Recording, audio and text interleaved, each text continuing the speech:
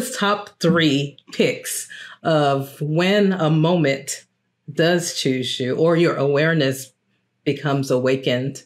So the first thing is don't ignore it. The second thing is to take action. The third thing I would do is to be really thoughtful about who you share this moment with. And I want to be mm, clear about mm. this. That's good. There's certain people who, for whatever reason, need you to stay small because you taking that risk, you doing something big, is for whatever reason to them a reflection of their own shortcomings and why they haven't done something.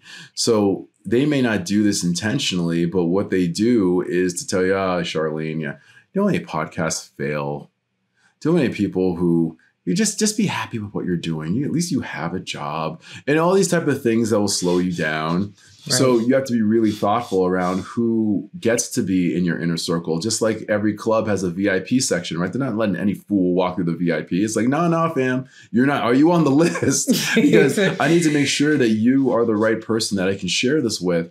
And it's not looking for blind encouragement. That's not what I'm saying. But it's also someone who's like, hey, I want to give you some feedback about maybe what's around the corner that you're not aware of. But most importantly, I believe in you and your ability to do this because it's amazing how many dreams put in the wrong hands get killed prematurely. Absolutely. And when the moment chooses you, it's easy for someone to be like, no, that was a mistake. It wasn't supposed to be you. It was supposed to be someone else.